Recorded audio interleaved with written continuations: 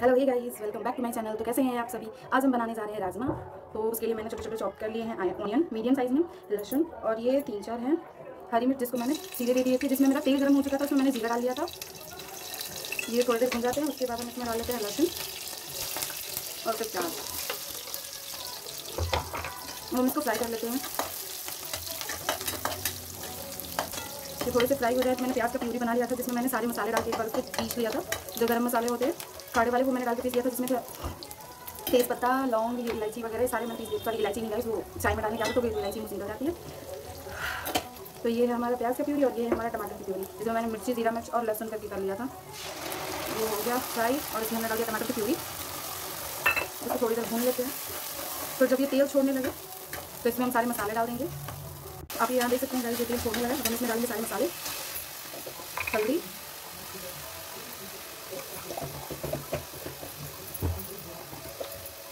Mix मसाले।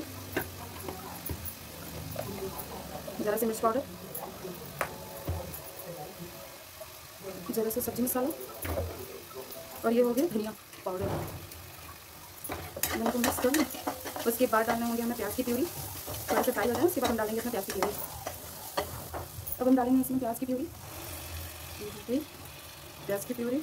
प्याज, अदरक, लहसुन और इन सारी को मैंने मिक्स करके पीस दिया था। अलग अलग पीसने का फ़ायदा था। अलग अलग पीस के अलग अलग जगह रखते इससे मैंने। साथ ही पीस लिया था इसको तब तक से मुझे जब तक ये तेल ना छोड़े। तो आप ये देख सकते हैं, ये मसाला हो चुका है हम इसमें डालेंगे, उबले हुए राजमा जिसको मैंने पहले उबाल के रख लिया था।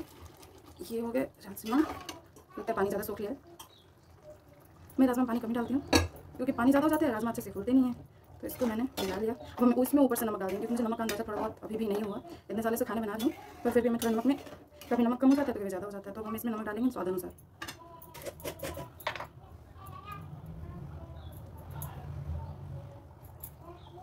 ये हो गया नमक।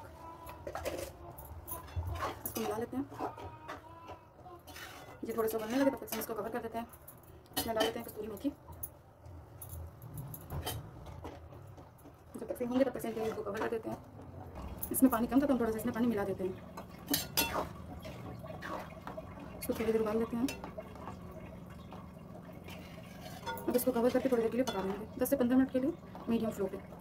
मीडियम फ्लेम पे इसको दस से पंद्रह मिनट के लिए पका लेते हैं तो फिर कुछ और काम निकाल लेते हैं। तो चलिए राइस हम एक बार इसको देख लेते हैं, ये हो चुका है नहीं। ये हो चुका है, हमारे अकॉर्डिंग हमें जितना गाढ़ा चाहिए। आप चाहे तो इससे ज़्यादा या पतला रख सकते हैं, देखिए हमारा हो चुका है, राजमा रेडी हो चुका है। अब आप इसे राजमा और चावल के साथ सर्व कर सकते हैं। तो अब हम कर देंगे गैस का फ्लो बंद। आपको ये वीडियो कैसा लगा, आप हमारे साथ कमेंट में शेयर करिएगा और please don't subscribe don't forget to like my channel and subscribe my channel thank you for watching bye मिलते हैं नेक्स्ट वीडियो में.